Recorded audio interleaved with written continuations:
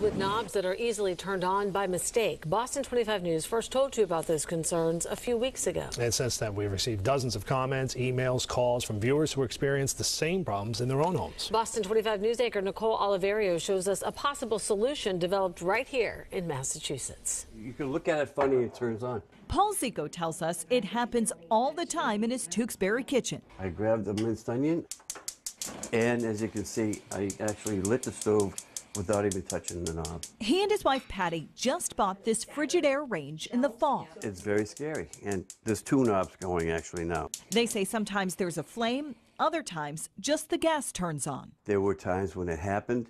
I've gone into my living room, watched TV, and the gas is on. I don't even know it. it that's scary. But I'm all the way down in my bedroom and I can smell something.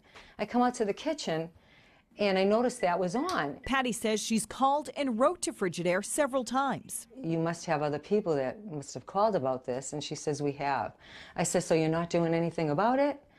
And she says, No, we're not, actually. So we reached out to uh, 25. Boston 25 News had several people reach out with similar stories. We even found this case from Southwick a few years ago. You see a dog reaching for some pancakes on the stove. Well, the animal turns the burner on and starts a fire. Frigidaire's parent company, Electrolux, responded by saying only that its ranges meet industry standards. Well, in this particular instance, for this, this case, industry standard is not good enough. It needs to be higher. Trevor Lawson was living on the North Shore when he came up with a solution. So then we came up with a RangeSafe knob, which actually you can't turn unless you pinch the sides, then push in, and then make it turn. The company's replacement knobs retail for about $25 each and fit most stoves. We're trying to bring public awareness to the problem right now.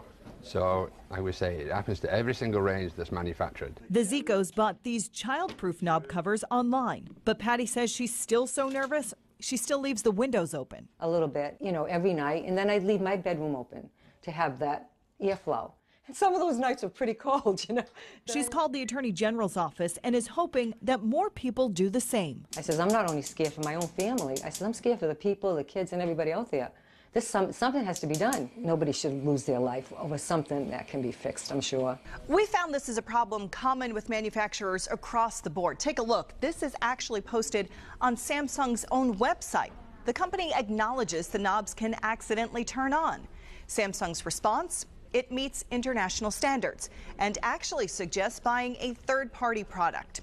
If you're unsure if this is a problem in your home, Lawson says simply bump into your stove and see if the knobs turn on. If so, he says you may want to consider buying one of those products.